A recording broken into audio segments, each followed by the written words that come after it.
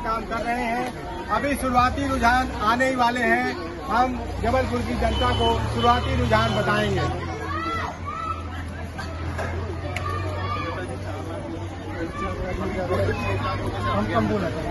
देखिए, जनता का निर्णय देखिए। पहले उन्होंने स्वदेशी पार्टी के नेता श्रीकांत नेमा जी को भारी बहुमत से विजयी बनाया था।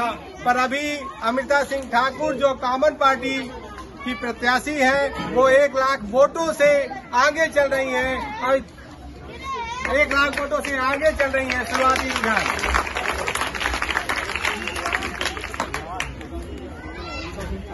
और जो स्वदेशी पार्टी के प्रत्याशी हैं, वो 2000 वोट से पीछे चल रहे हैं।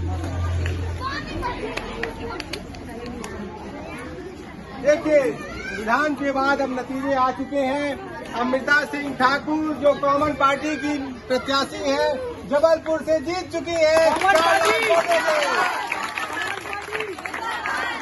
party! Common party! Common party! के प्रत्याशी उत्साह मनाते हुए उनकी माता जी द्वारा करते हुए और उनको मुँह मीठा कराते हुए अमृता सिंह ठाकुर जी का।